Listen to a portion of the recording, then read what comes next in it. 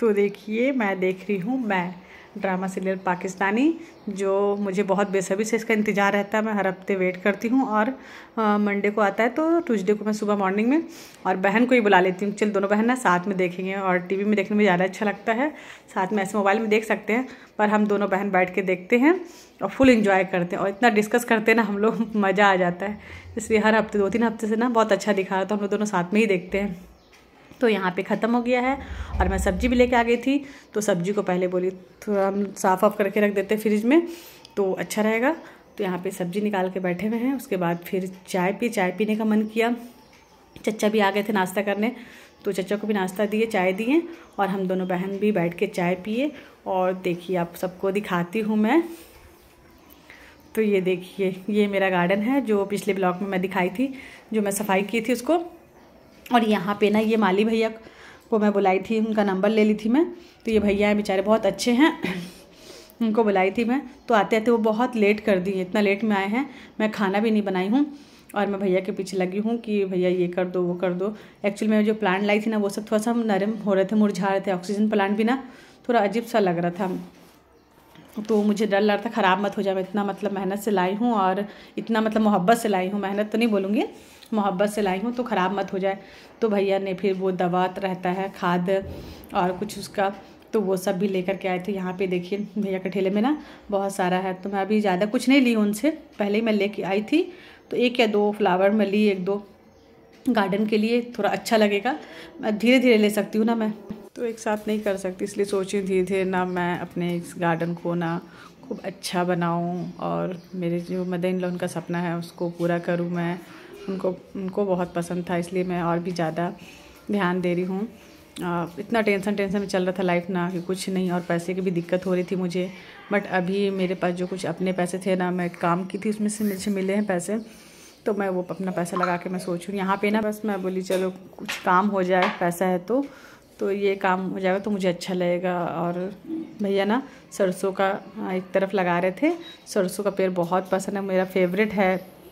सरसों का पेड़, पीला पेड़ लगता है, उसमें पिक बहुत अच्छी आती है, जो मैं सब पेड़ आ जाएगा ना तो मैं पिक लूँगी तो दिखाऊँगी आप सबको। और यहाँ पे ऑक्सीजन प्लांट ना एक मैं अपने बेडरूम में भी रखी हूँ, दो ली थी और एक हॉल में रखी हूँ।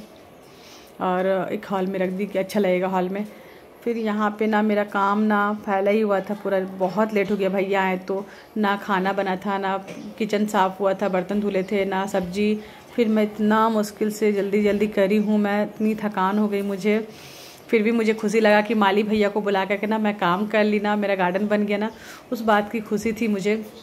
कि चलो फाइनली वो दिन आ गया जो मैं अपना गार्डन का काम कर ली, जो मम्मी का काफ़ी टाइम से सोचे थे वो बेचारे दुनिया से चल गए।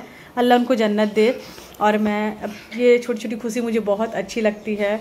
देखना मैं कितना मतलब अपना इंजॉय कर रही हूँ और शाम के समय नमाज़ के बाद ना मैं फिर ये मनी प्लांट को भी मैं अच्छे से सजा रही हूँ। ये भी ना मुरझा गया था, भैया ने पानी वानी डाले, खाद डाले इसमें और दवाई डाले। बोले, ठीक हो जाएगा, अब नहीं, कोई दिक्कत नहीं है। तो मुझे बहुत अच्छा लगता है मनी प्लांट ऐसे सजाना, मैं अपने घर को बहुत अच्छे से सजाना। सजाने का मतलब शौक़ रखती हूँ, शौकीन हूँ मैं, ऐसे हर औरत रख, रहती हैं। ऐसा नहीं है, हर औरत को लगता अपना घर, उसके लिए जन्नत है और अपने घर को वो ताजमहल समझती है, सजाती हैं। तो सजाना भी चाहिए, औरत की बहुत छोटी सी दुनिया होती है। तो बस यहाँ पे देखिए, यहाँ पे। और इसमें का, इसमें, इसका भी ना पानी गंदा हो गया था। मैं देखी ना तो चलो ना, क्यों ना पानी चेंज कर देती हूँ मैं। तो इसकी पानी चेंज कर दी मैं। ये भी ऐसी पानी में इतना अच्छा दिख रहा ना हरा मतलब ख़राब ही नहीं हुआ। इतना अच्छा लग रहा ना, मुझे बहुत अच्छा लगा यहाँ पर मैं साइड में भी रख करके ना। फिर मैं सोची यहाँ पर ही क्यों ना मैं एक पिक ले लूँ तो गुनगुन मेरी पिक ली यहाँ पे वीडियो भी ले ली और पिक भी ले ली।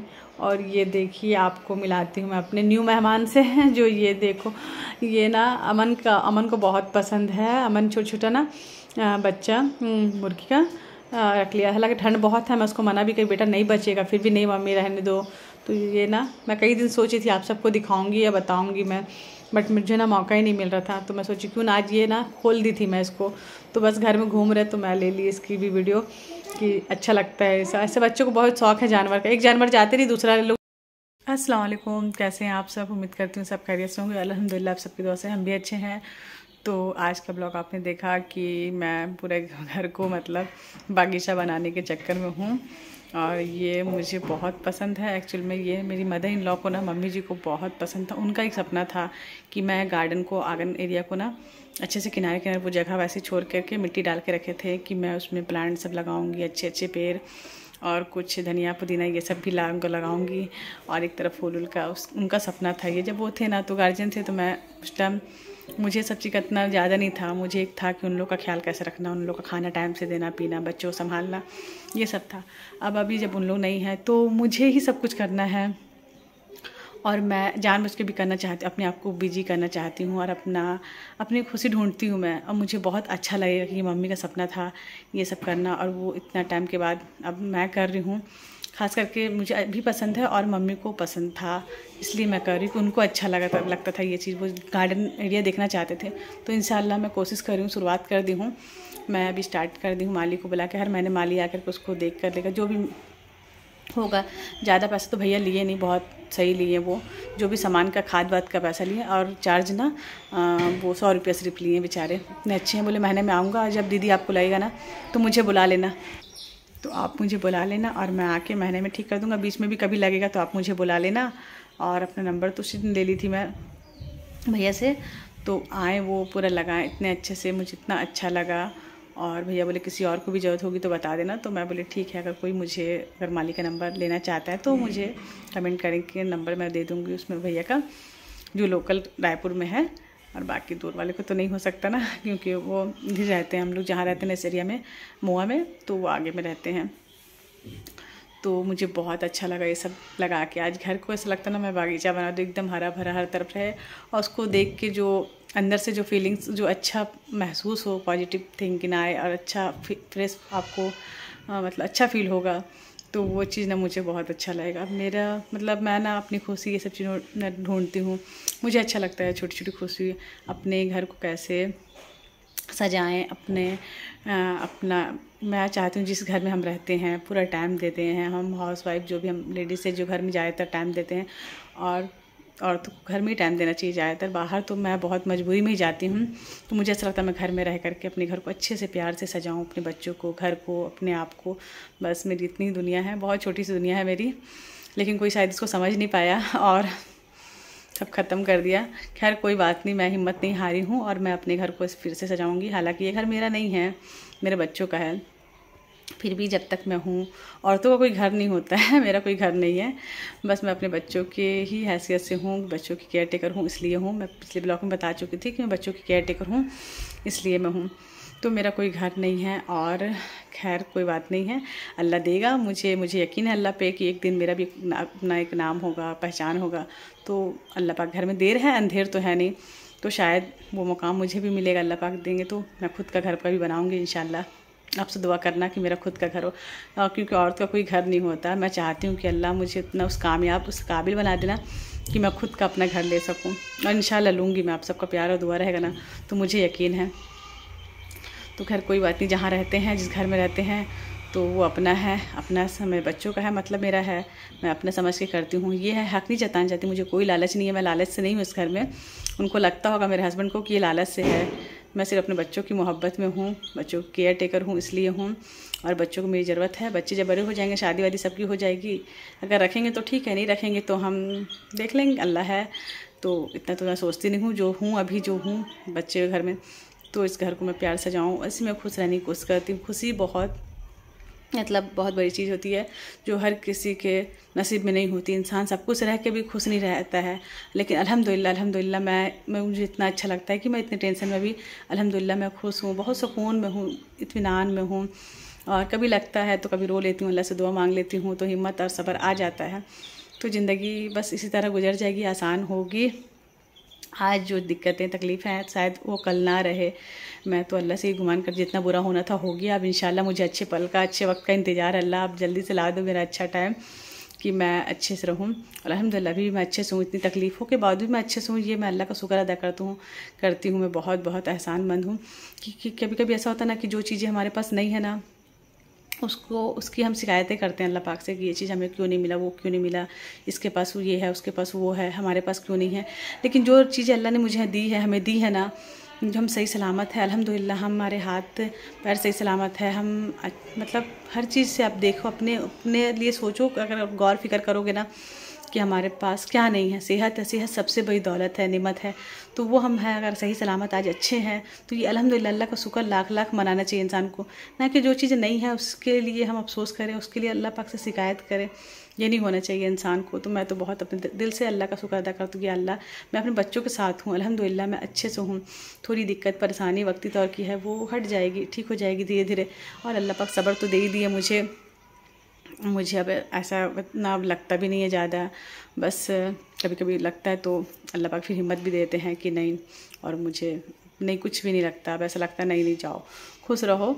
और मैं दुआ ही देती हूँ, बस दुआ नहीं करती क्योंकि मैं अगर दूसरों को जो चीज़ दूँगी ना, वो मेरे साथ भी अगर मैं दूसरों को दुआ दूँगी ना तो अल्लाह वो दुआ मेरे अंदर मुझे भी लगेगा। अगर मैं किसी को बदुआ दूँ, कोसूँ, काटूँ, रात दिन सरापूँ, उसको बैठ करके तो वो चीज़ें मुझे फिर अच्छा ही लगेगा, मज़ा नहीं आएगा। मुझे ना अंदर से गिल्टी फील होगा। फिर मैं वो जलन जलन कुरहन मेरे अंदर रहेगा ना किसी के लिए तो मैं आगे कभी नहीं बढ़ पाऊँगी। जब तक मेरा दिल और मन साफ़ नहीं होगा ना तब तक मैं आगे नहीं बढ़ पाऊँगी। तो इसीलिए मैं मैं उस, उस नेचर की हुई नहीं कोई मुझे समझा ही नहीं। मैं उस नेचर की हुई नहीं कि मैं ना किसी से जलूँ चिरूँ तो मैं तो ये सोचती हूँ छोटी सी ज़िंदगी है हर बात पे खुश रहो क्योंकि लौट कर यादें आती हैं वक्त नहीं। तो जो आज है आज मैं अपने बच्चों के साथ हूँ अल्हम्दुलिल्लाह। कल किसने देखा है कल क्या होगा? तो जो आज है उसको जी लो और अल्लाह का शुक्र अदा करो। और आप सबका प्यार, सपोर्ट है तो मेरा बहुत जल्द एक हज़ार सब्सक्राइबर होने वाले हैं, एक दो रोज़ में हो जाएँगे। आप सबकी दुआ से और सबके प्यार से। और एक हज़ार से एक लाख भी हो जाएगा इन अल्लाह ने चाहा तो बहुत जल्द हो जाएगा।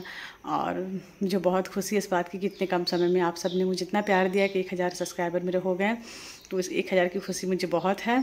और बस इसी तरह मैं आप सबसे जुड़े रहूँ, आप सबसे बातें करने, करते रहूँ और धीरे धीरे मेरी ये यूट्यूब फैमिली बन जाए पूरी। और मुझे इतना अच्छा लगेगा कि मेरा मतलब एक इंसान नहीं है, लेकिन मेरे लिए इतने सारे हज़ारों लोग हैं मेरे साथ और सबका प्यार है तो मुझे उस बात की खुशी है। अगर अल्लाह पाक एक दरवाज़ा बंद करते हैं ना तो उससे पहले दूसरा दरवाज़ा खोल देते हैं। ऐसा नहीं एक दरवाज़ा बंद होता अल्लाह पाक दूसरा तीसरा बहुत सारे। आपको लगेगा कि नहीं ये बंद हो गया मेरे साथ ऐसा क्यों हुआ? लेकिन नहीं ऐसा नहीं होता है। आ, मुझे यकीन है कि मुझे सबका प्यार मिलेगा बहुत। अल्लाह पाक मेरे साथ हैं। और मुझे एक इंसान के चले जाने से ज़िंदगी ख़त्म नहीं हो जाती है और कोई जीना नहीं छोड़ देता है। जो गया वो अपना कभी था ही नहीं शायद किस्मत में नहीं था। जब तक का साथ लिखा तब तक तब तक था साथ में। तो उस बात को सोचने से ज़्यादा अफसोस करने से कोई फ़ायदा नहीं है। तो मैं सो, नहीं सोचती हूँ। बस अपना, बस मैं खुश रहना चाहती हूँ। जिस हाल में भी रहूँ, अल्लाह का शुक्र अदा करना चाहती हूँ और खुश रहना चाहती हूँ।